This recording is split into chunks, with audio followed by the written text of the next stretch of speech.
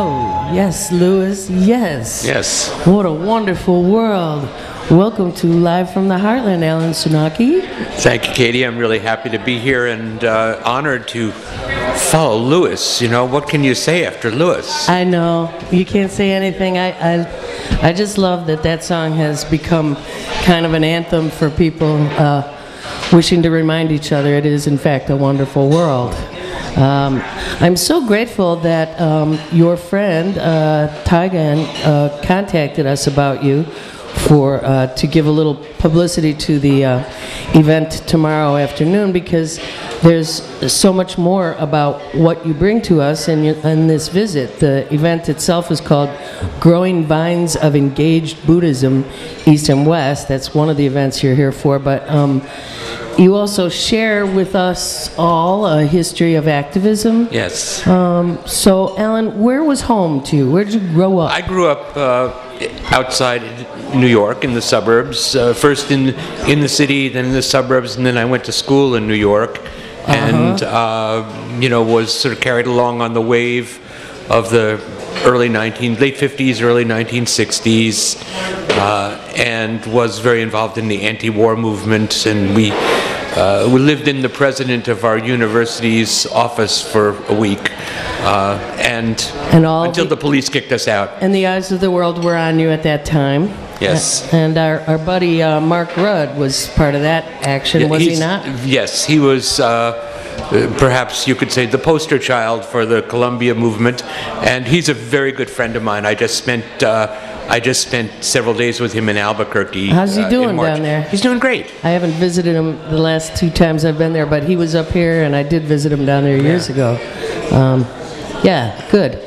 Um, so, you are called Hozan Alan. That's Senauke. that's my Buddhist name. Yes. Yeah. So, uh, for people who don't travel that route, um, when you take a name, whether it's in the Buddhist tradition or in some people we know in the Hindu tradition take on spiritual names, what does that what does that mean to the Well, I was world? given the name. Usually, you're given the name by Your uh, your teacher or your preceptor, and uh, that name means Dharma Mountain, which is, you know, very auspicious and It is something indeed. something to live up to uh, and to live into. So uh, that was, I don't know, 25, 26 years ago.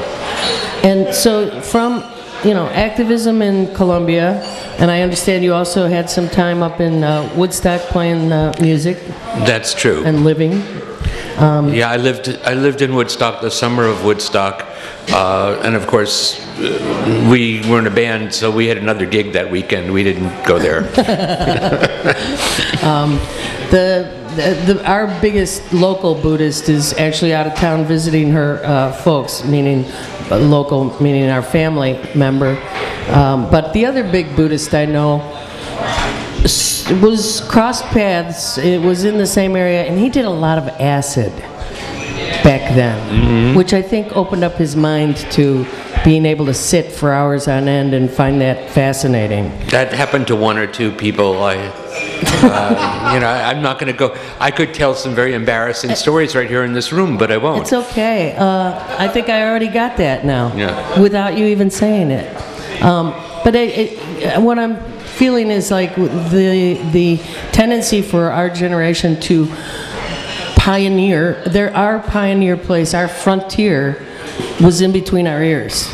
Well, that's right. Um, I think this is an interesting thing, and I think it's one of the distinctions that uh, one of the things that I admire about the various indigenous movements and about uh, people come from the African American community, what we discovered as we were getting old, older uh, for me, my sense of place is often kind of in there, we think. Whereas to his uh, head. real social change is going to happen when people feel that they are connected to the place that they live.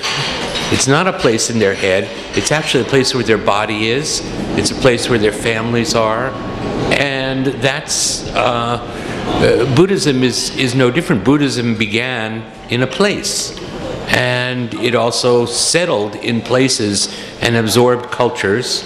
Uh, and we're in an absorption process here, but we need to look at the places that we are living, not kind of uh, turn on, tune in, drop out, but actually drop into, you know, drop into a sense of place. So you live here. This is the Heartland Cafe. You know, you've staked uh, yourself and your work in this place. You have no idea. I can imagine. You know, and the same thing is true. Uh, we, if you practice in a religious community, you're related to that community, and you're accountable to that community uh, in ways that we really need to constantly explore. God, I love that. I so get it. In Chicago, we, we were we were all a lot of us were raised Catholic, Mm-hmm. and when people said where where are you from, we would name our parish. We didn't Right, even name our right, neighborhood, but right.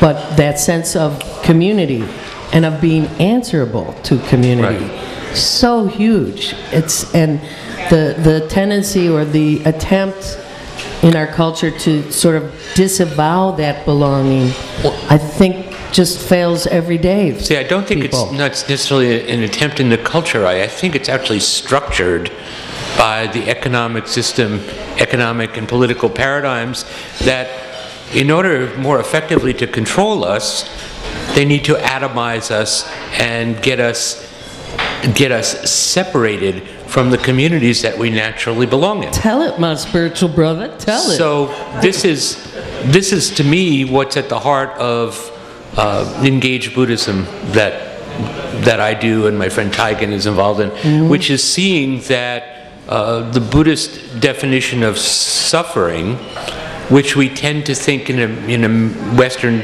terms of as quite personalized, uh, is actually there are systems of suffering. You know, so racism is a system, militarism is a system.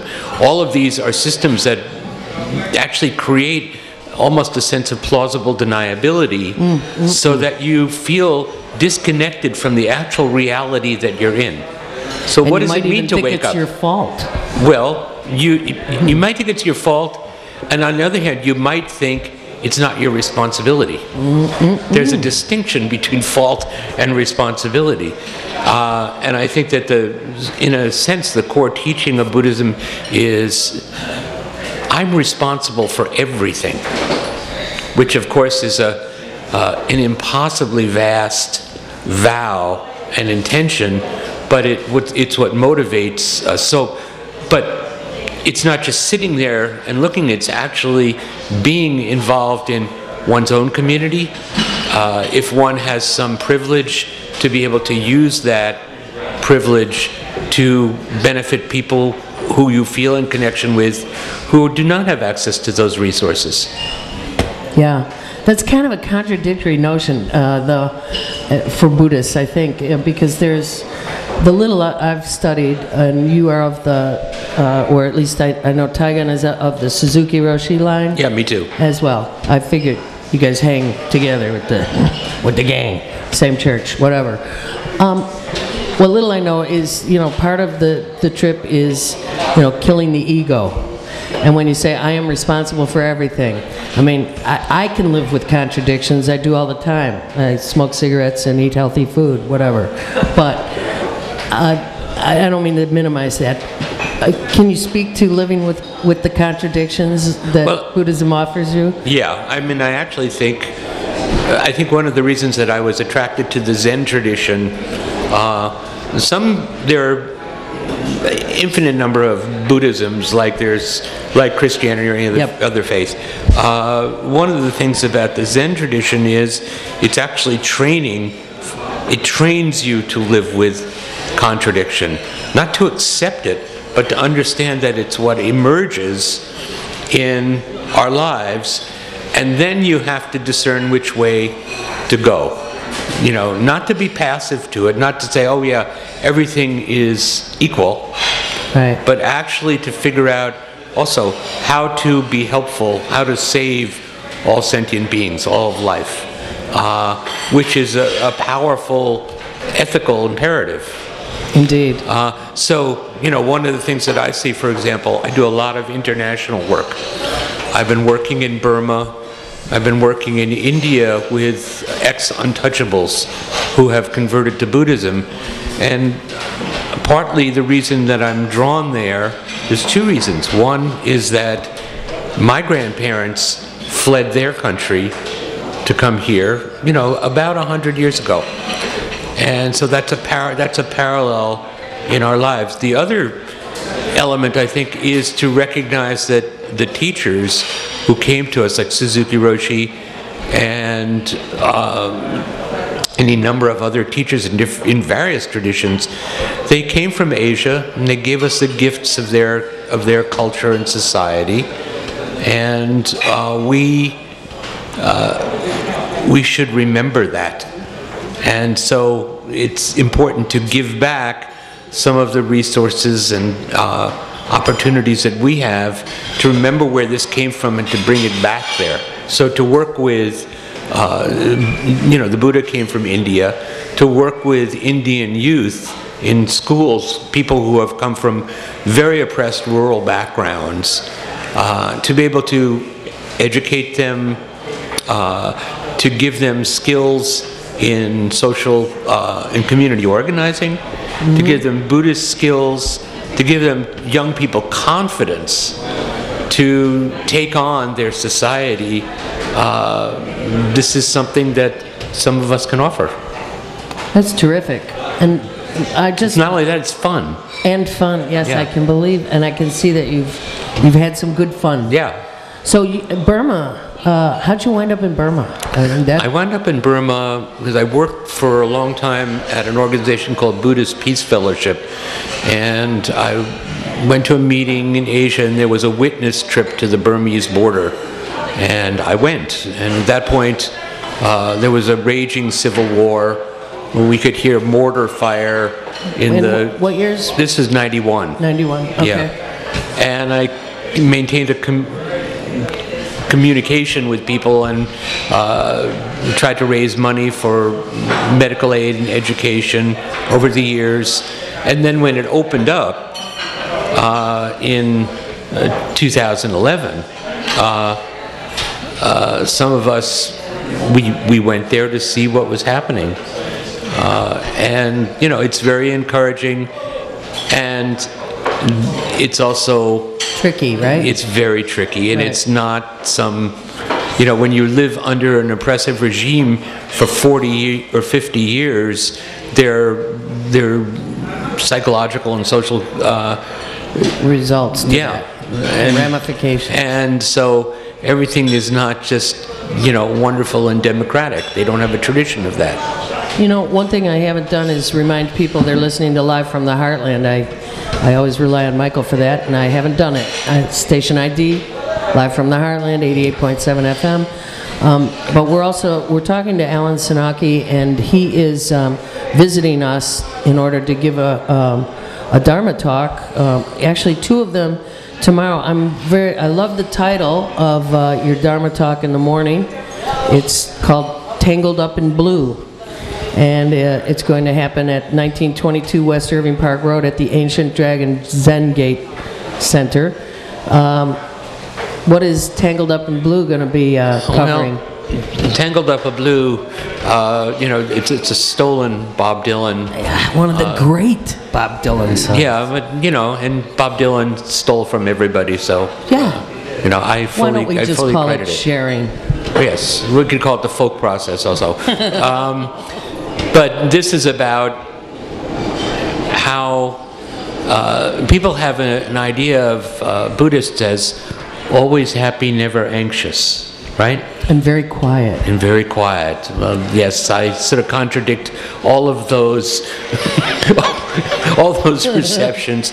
But so uh, one of the things I've been doing, I've been trying to figure out how to work with uh, elements of chronic depression in my own personality. So that's Tangled Up in Blue talks to that, and you know, it's uh, it's not a contradiction to me. So, uh, when you talk to, when you give a, a Dharma talk, first of all, for non-Buddhists, what is a Dharma talk? It's an encouraging talk. It's a talk that basically the b- message is you can do this. That's I it. that. It's an Yeah. encouraging talk. Yeah. So uh, the the flyer for it says Buddhist practitioners secretly hope that all our hours and years of meditation will lead to happiness, but uh, in fact, you know, to suffer depression feels like a kind of failure, but it's also an opportunity, and Right. I think that's a great way to begin to look at depression since we all suffer it. That's in, right. In a little or a lot, there is free floating anxiety on this planet, and uh, people should be able to be in conversation with it, right? That's right. So we have this internally, but then that leads to the talk for Buddhist Peace Fellowship in the afternoon at DePaul. Right. uh, because the anxiety is not so free floating. We take it on as free floating, but it's actually, it also serves a structural purpose.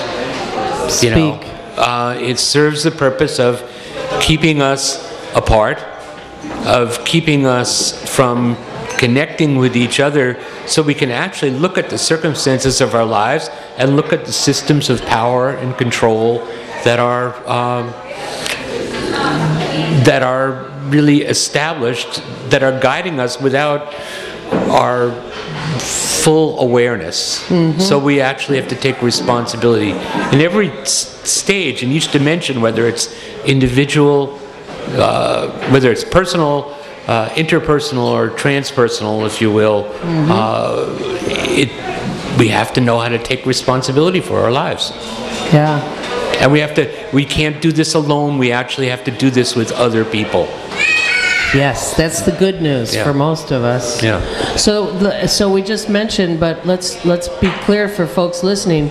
You're invited to the Sunday afternoon talk tomorrow um, from 2:30 to 3:30. It's happening at uh, Cor- uh, like the- aptly in the Dorothy Day Room at DePaul University. It's uh, JTR 400. That's the room number, I'm assuming, and it's again at DePaul at 2350 North Kenmore Avenue. Um, and it's co-sponsored by the DePaul Religious Studies Department and uh, DePaul University Peace, Justice, and Conflict Studies Department.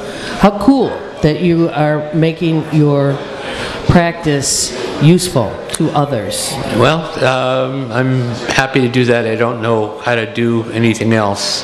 Uh-huh. Uh, I'm very well untrained. Uh, I think a lot of us could say that. Yeah. Um, and uh, so, Tangled Up in Blue is the morning Dharma talk at the at the uh, Zen Gate, um, Ancient Dragon Zen Gate uh, Center, which is on Irving Park Road. I don't want to confuse people. The afternoon, uh, which is uh, event, which is Growing Vines of Engaged Buddhism, is the one at DePaul um, in the Dorothy Day Room. Just remember Yeah. the great uh, terrific activist of uh, the of our day, of a Yeah. previous day, Dorothy Day, and you'll find uh, you'll find Alan Senauke.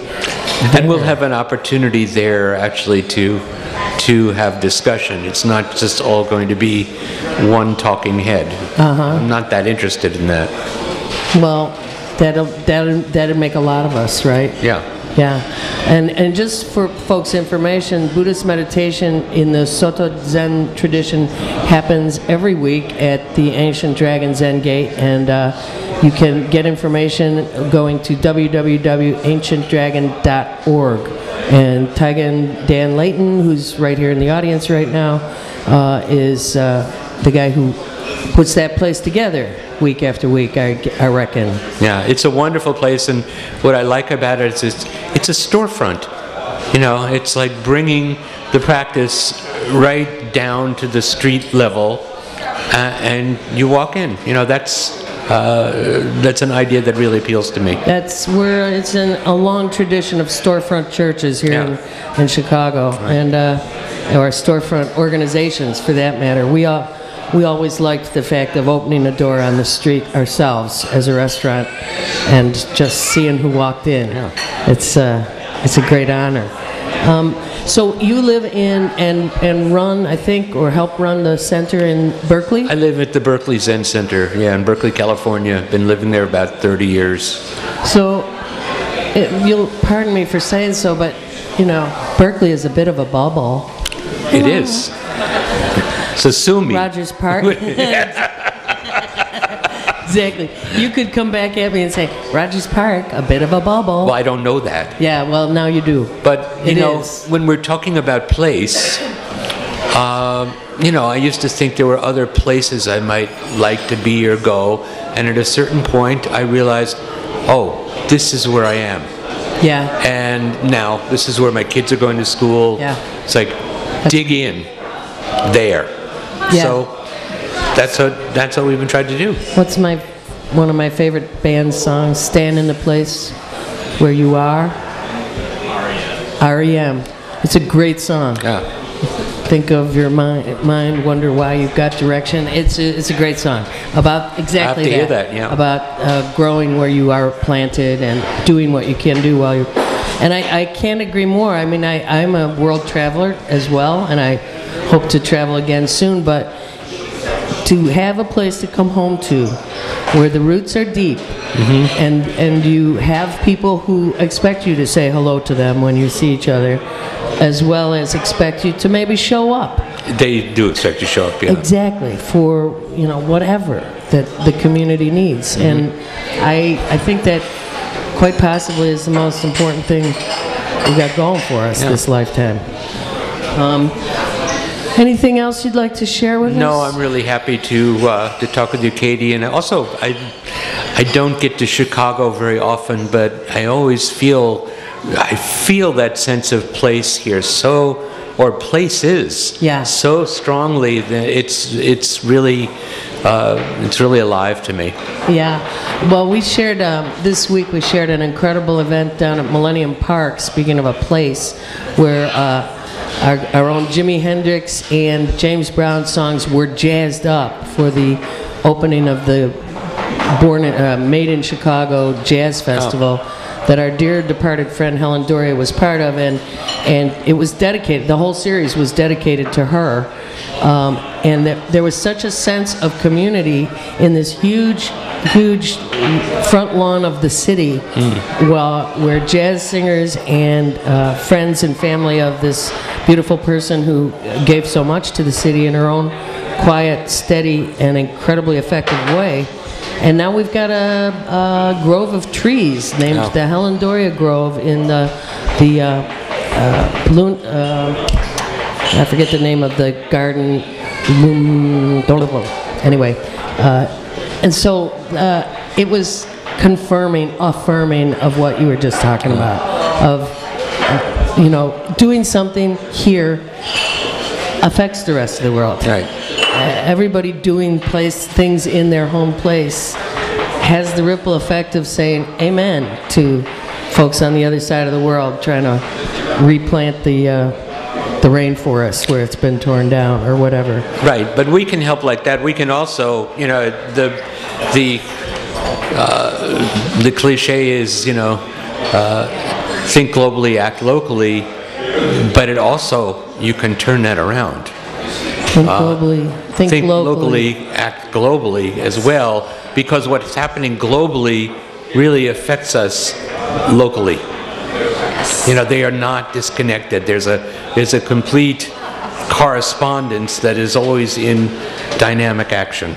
So that is the note on which we end. Okay. A good meditation going out there, people. Thank you so much, Alan. Thank you, Katie. Yeah. It's a pleasure to have you. Thank you. All of us from Live from the Heartland, thank you for listening in. We thank everybody involved in making this happen.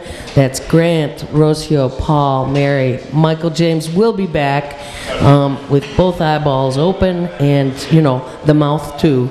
We thank you for doing good in the world. Please, uh, the world needs all the good you can do. Signing off, all power to the people. Bye-bye. WLUW Awesome then. Thank you. It was fun. Hi, welcome to Musical Notes. Bruce Springsteen burst onto the rock music scene. I love radio. 88.7 FM, Chicago, Sit Line, Madonna, pushing my